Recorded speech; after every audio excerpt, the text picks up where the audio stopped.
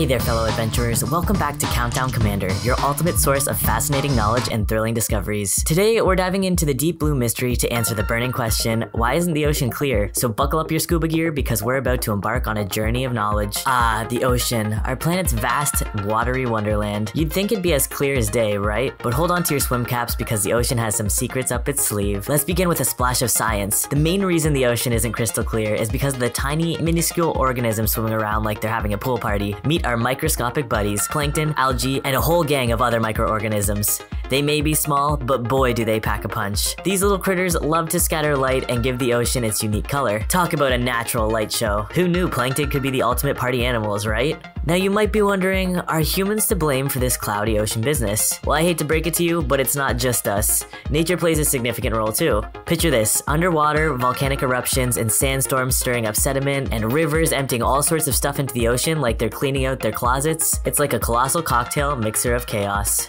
There's a real party going on down there. But wait, there's more. Let's talk about something we all love. Our ocean despises plastic. Oh, those pesky plastic bottles and bags are wreaking havoc on marine life and our ocean's clarity. Plastic debris can take centuries to break down, and in the meantime, it's like a permanent pair of glasses for our ocean. Super blurry vision. But fear not, my aquatic aficionados, because there's hope on the horizon. Organizations and individuals worldwide are stepping up to protect and preserve our oceans. By reducing plastic use, cleaning up colossal areas, and promoting sustainable practices practices, we can help our ocean regain its clarity. Did you know that more than 70% of the Earth's surface is covered by the ocean?